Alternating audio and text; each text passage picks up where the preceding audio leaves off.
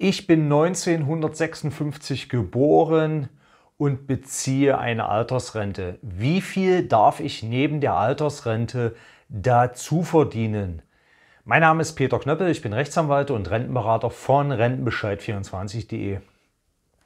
Im Zuge der ganzen gesetzgeberischen Diskussion um den Wegfall der Hinzuverdienstgrenzen für vorgezogene Altersrenten bekommen wir auf Rentenbescheid24.de sehr, sehr viele Anfragen, unter anderem auch zum Thema Hinzuverdienst, Altersrenten und so weiter.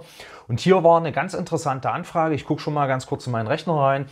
Ähm, habe eine Frage an euch. Ich bin im Juli 1956 geboren und bin nach 45 Arbeitsjahren im Juli 2020 in Altersrente ohne Abzug gegangen. Wie viel darf ich jetzt dazu verdienen? 450 Euro, 520 Euro oder unbegrenzt? Fragezeichen. Also die Antwort ist relativ einfach. Sie sind 1956 geboren und Sie haben Ihre Regelaltersgrenze schon längst erreicht. Das heißt also, Sie können so viel dazu verdienen, wie viel Sie wollen im Monat. Da wird nichts mehr an die Altersrente angerechnet.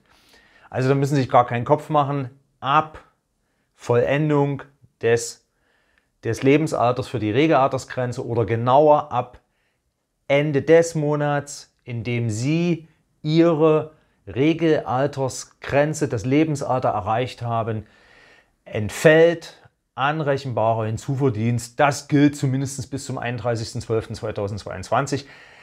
So äh, so heißt es also nach dem Gesetz, Sie können ganz entspannt sein. Sie können dazu verdienen, so viel wie Sie wollen. Näheres zu diesem Thema finden Sie auf www.rentenbescheid24.de. Ich wünsche Ihnen eine rentenstarke Woche. Ihr Rechtsanwalt und Rentenberater Peter Knöppel.